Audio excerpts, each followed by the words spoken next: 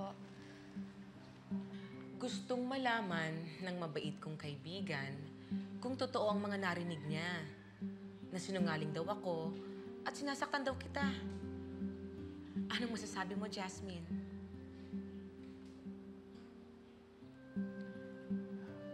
Jasmine, magsalita ka. Huwag ka matakot. Andito ako. Magsabi ka ng totoo. Oo nga naman, Jasmine.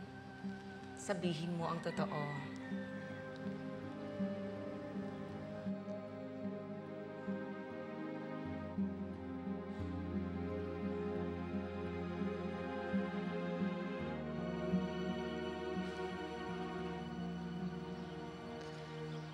Hindi po. Wala pong ginagawang ganun si Ma'am Clara. O sige, Jasmine, yun lang. Bumalik ka na doon.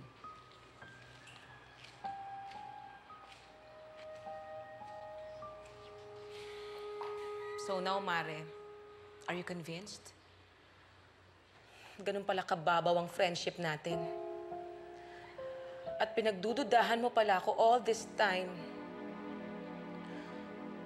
Kung ganun nilang kababa ang tingin mo sa akin, let's just be business partners. Wala nang kaibig-kaibigan. Negosyo na lang. Akin ang investment mo. Pumunta ako rito para linawin ang mga bagay-bagay. At sa pinakita mo sa akin, walang kaduda-duda. Alam ko na ang gagawin ko. I valued our friendship. Pero, pera lang palang kailangan mo sa akin.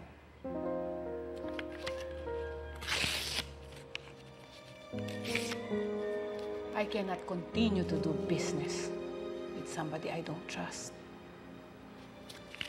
Goodbye.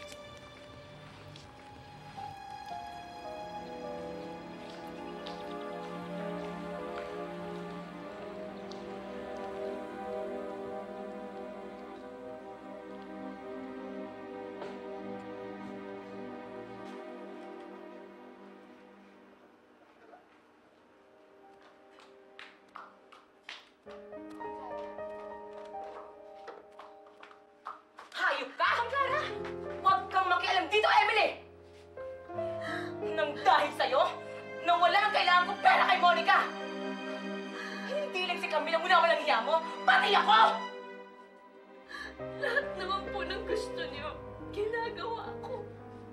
Hindi ko po sinabi kay Monica.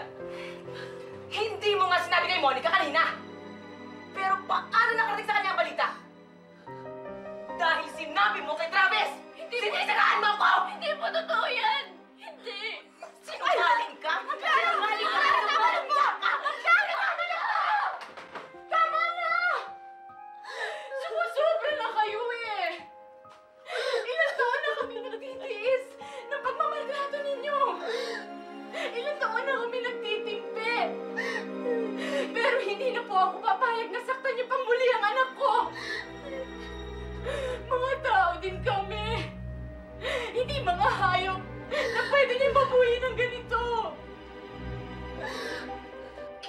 Kinakalaban niyo na akong mag-ina?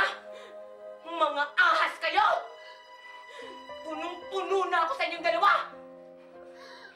Umalis kayo sa paningin ko! Lumayas kayo sa bahay ko! Layas!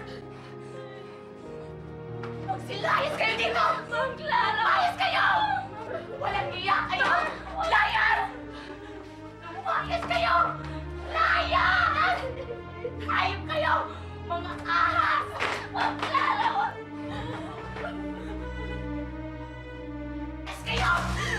Walang iya kayo! Ang kakapal ng mga mukha ninyo!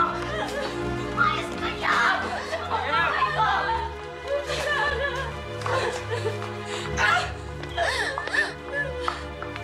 Ma'am Clara, patawarin niyo po ako. Hindi ko naman po sinabing ni Travis. Patawarin niyo na po kami. Ma'am Clara. Ma'am Clara, pagpasensyahan niyo na po kami. Hindi na po mauulit. Parang aawa niyo na po. Huwag niyo lang po kami palayasin. Ma'am Clara, Nay. parang aawa niyo na po. Ma'am! Ma! Wala akong pakialam! Sawang-sawa na ako sa inyong dalawang mag-ina kayo! Mga salot kayo sa buhay ko! Lumayas na kayo rin din! At huwag na huwag na kayong babalik sa pamamahay ko! Palayasin ang mga ito at huwag niyong hahayaan makapasok ang mga yan sa village! Ma'am, hindi na kayo! Hindi na po! Clara, awa! Hindi na po, Ma'am Clara! Ano sabi kayo? Ma'am!